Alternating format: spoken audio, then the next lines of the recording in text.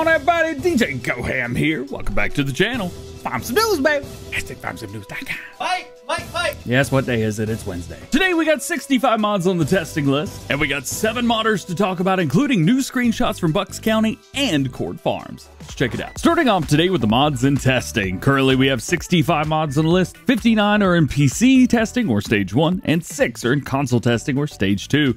Some notable mods in PC testing today include White Lines, Michigan Shed Pack, and IH Puma South American Series. Also in testing, we have the JCB Fast Track 4000 and 8000 series, Massey Ferguson 5S 2023, Iron Gate, and Enhanced Crop Destruction.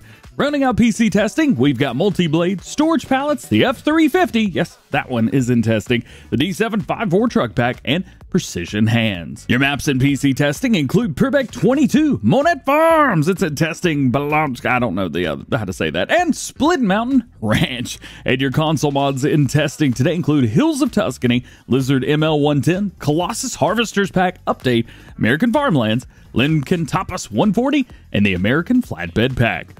With all that being said, we still have 138 mods sitting waiting to be tested, and the current average waiting time of newly submitted mods is about 7 workdays. Jumping over to Modern News, TNT Modding has shared new screenshots for Bucks County, PA. He's still working on things like trees, painting grass, and other bits like that, but we can get an idea of what it's going to look like. One thing, he had used sheds from Lone Oak and FS19, but since that map and its assets are not in FS22, nor do Bullet Bill and Oxygen David seem even interested in bringing it over, we're probably just going to have to use base game sheds and that type of thing on this map. Fortunately, since they are base game sheds and assets, you'll likely be able to just delete them and build your own farm with whatever you would like, which I think is pretty sweet. These screenshots were all taken from TNT Modding's Discord, which you can find linked in the description. Custom Modding also have some new screenshots and information for us today on their John Deere 7R series for all platforms, saying that this is one of the biggest hits from FS17 and 19, at least from them, and it is coming back.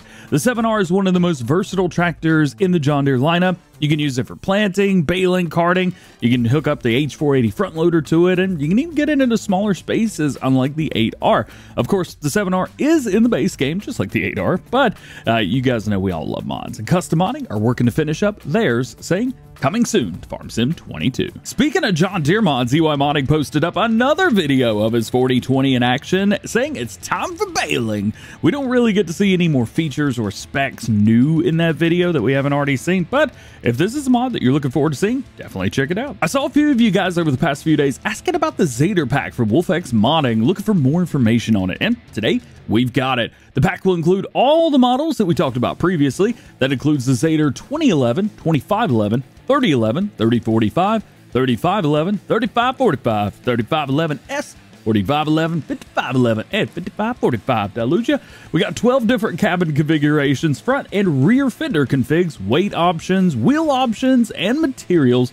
And we're going to have manual gear animations and simple IC.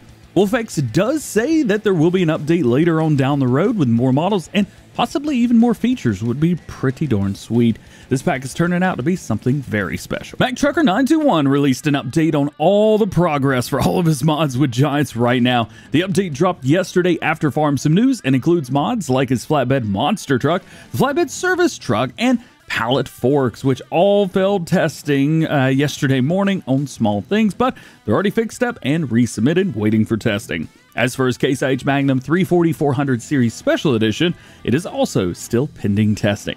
He does have two other mods going through testing right now, or at least they were yesterday, the Power Roll 1230 HD multi-roller and the 30-foot flatbed auto-loading trailer. However, his Ultimate Mower and Baling Pack East Vinyl in New Jersey and Configurable Weight are all still showing testing completed, so we're gonna have to wait and see what happens with those hopefully today. Lancyboi's got another mod announcement for us today, saying he's managed to get all six new animals working on all platforms with Lua scripts so it can work for crossplay. There will also be PC-only versions if you guys are interested in those. Here you can see the calves that have been added to his American Falls map with custom new buildings. With these calves, you can feed them straw and milk, and they'll be producing manure. He's also happy to say that the map is coming along nicely, and it takes time to do all of this. I think it's really cool that he's taking that extra time to do it for everyone. That way, everyone, no matter what platform you're playing on, can use them. I can't wait. And lastly today, Oxygen David has released more screenshots from Court Farms. It says he's been working on a load of things that will be revealed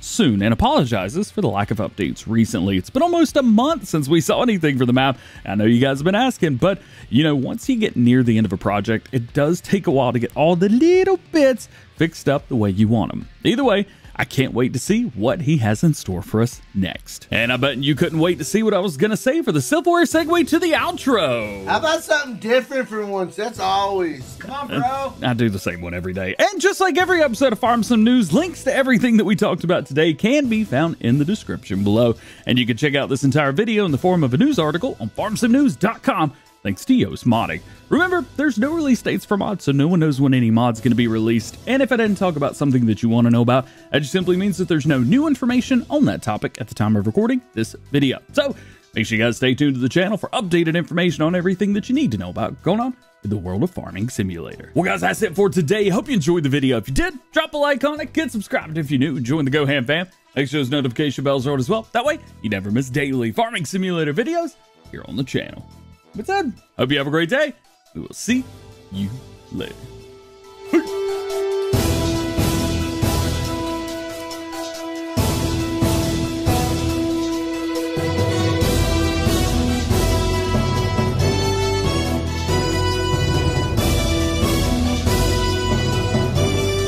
My trip's halfway over. It's Wednesday. Mine's over today.